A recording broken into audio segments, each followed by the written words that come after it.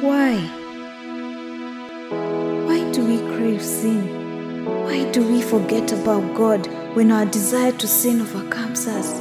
Why do we lose control? Why do our bodies crave for sexual fulfillment? Why can't we keep our bodies pure till marriage? Why do we let ourselves lose everything to sin?